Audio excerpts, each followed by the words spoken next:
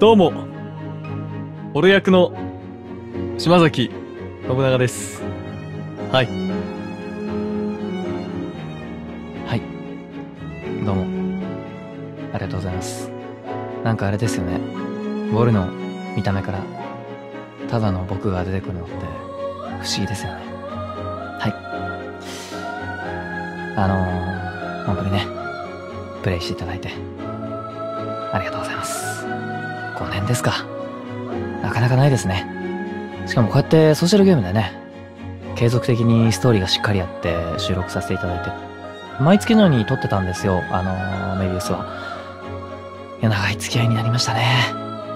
本当に。うん。いや、本当皆さんにね、楽しんでいただけてたら、本当に嬉しいなと思いますし、あの最後まで、メビウス、ファイナルファンタジー、お楽しみいただけたら、とっても幸せです。はい。というわけで、島崎信長でした。森役でした。はい。どうも、ありがとうございました。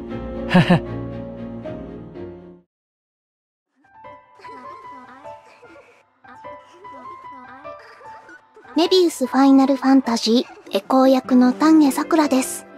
皆さんここまでプレイしてくださってどうもありがとうございました。あのー、半年ぐらいかなってお聞きしてたら、なんと5年以上続いて、本当に嬉しい限りで、ね、すごく長く続いてよかったです。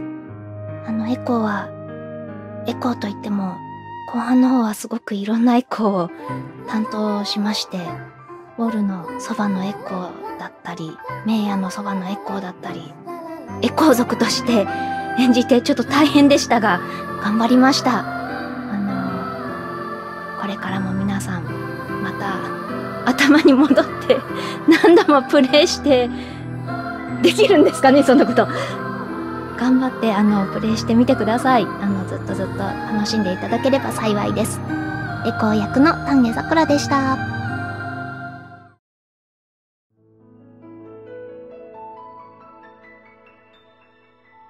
セイラ役の原由美です。いや、本当に長い期間、メビウスには、セイラさんにはお世話になりまして、特にセイラの場合は、最初の光の戦士編の時は、たまにこう収録がポツポツポツってある感じだったんですけれども、後半の破滅の戦士編になったら、割と毎月のように来させていただいていて、いや、すごくたくさんセイラさんに触れることができて、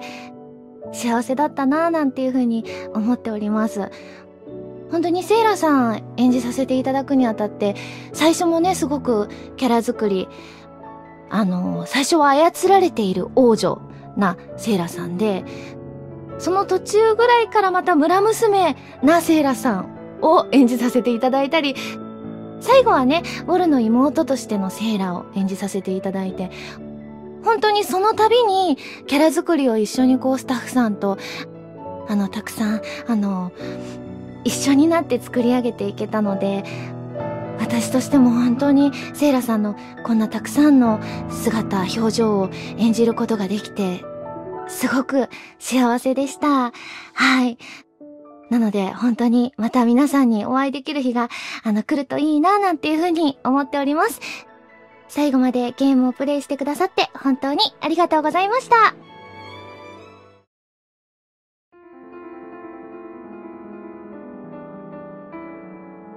メイヤ役のマオです。皆さん、えー、こちらでは、はじめましてですね。えー、ありがとうございます。えー、青の魔女として、あの、初めて登場させていただいてから、まさかまさか、この第2部破滅の戦士編の最後まで、あのこう、メンバーとして共に戦っていけるとは思っていなかったので、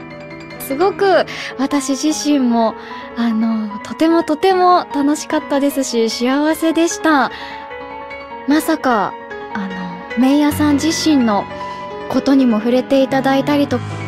なぜ彼女があのこう立ち向かっていったりこう戦う姿勢があるのかっていうそのバックボーンのようなところもあのしっかり描いていただいてさらにはあのプレイヤブルキャラとして皆さんと一緒に皆さんと一緒にそうですね皆さんとしてあの戦わせていただけるとは思っていなかったので本当に何でしょう。すごくすごく幸せでしたしあのメイヤさん自身のあの怪しげな雰囲気だったりこうどこかつかめない感じのあのお芝居もこう演じさせていただいていてとてもあのなんでしょう。新鮮であの勉強にもなりましたしあのなんか大きく私自身も成長できていたらいいなと思うキャラでした。うん。またいつかお会いできる日を楽しみにしています。えー、最後まで遊んでいただきありがとうございました。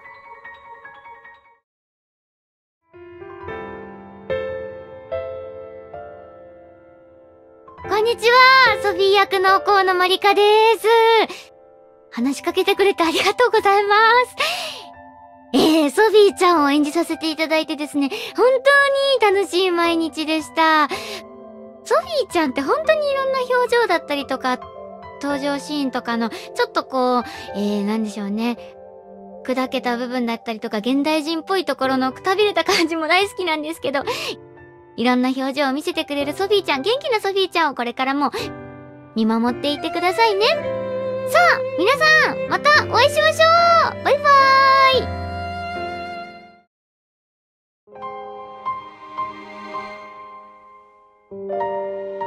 皆さんこんにちは。グラフ役の竹内俊介です。えー、この度、えー、グラフの出番がね一旦終了したということなんですけれども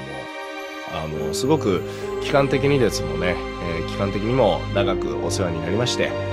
えー、気がつけばグラフが割と日常の一部になっていたような、えー、気がしていました、えー、そんな彼とねちょっと一回お別れするのは寂しいですけれどもまたどこかね機会があればねグラフがまた復活してくれて今度は、ね、ちゃんと自分自身、いい人間のところをね、多分彼は気づけたと思うんで、今度はそっちの方で頑張れる人になってるんじゃないかな、なんてことを期待しながら、えー、次の展開を楽しみにしております。竹内俊介でした。ありがとうございました。